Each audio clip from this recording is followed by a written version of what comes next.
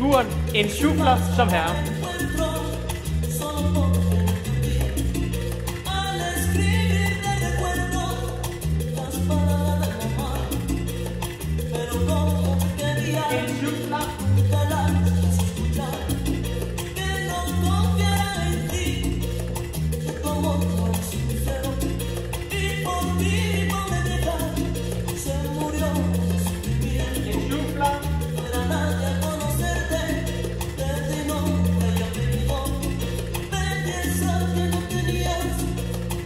Thank